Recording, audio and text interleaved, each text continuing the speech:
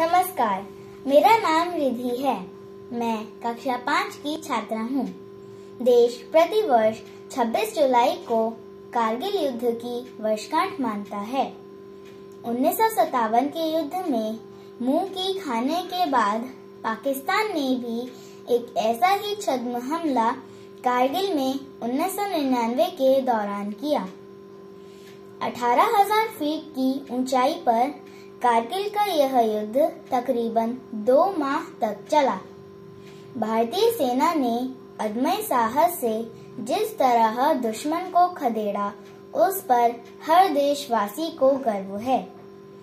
हिमाचल प्रदेश की वीर भूमि में जन्मे कैप्टन विक्रम बत्रा जब पहली जून 1999 को युद्ध के लिए गए तो उनके कंधों पर राष्ट्रीय श्रीनगर लेह मार्ग के बिल्कुल ठीक ऊपर महत्वपूर्ण चोटी इक्यावन को दुश्मन से मुक्त करवाने की ज़िम्मेदारी थी। यह दुर्गम क्षेत्र एक चोटी ही नहीं थी। यह तो करोड़ों देशवासियों के सम्मान की चोटी थी, जिसे कैप्टन विक्रम बत्रा ने अपनी व अपने साथियों की वीरता के दम पर 20 जून 1999 को अपने कब्जे में कर लिया।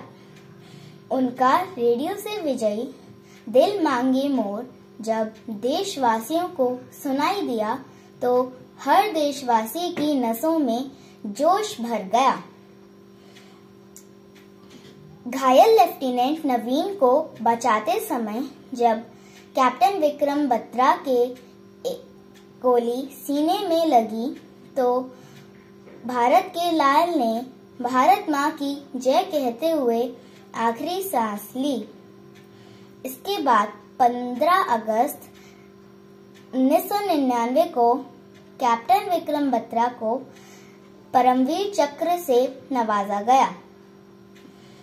कैप्टन विक्रम बत्रा के जीवन से मुझे देश प्रेम नेतृत्व और सद्भाव जैसे गुणों की सीख मिलती है। भारत के इस सपूत को मेरा शत शत नमन। धन्यवाद।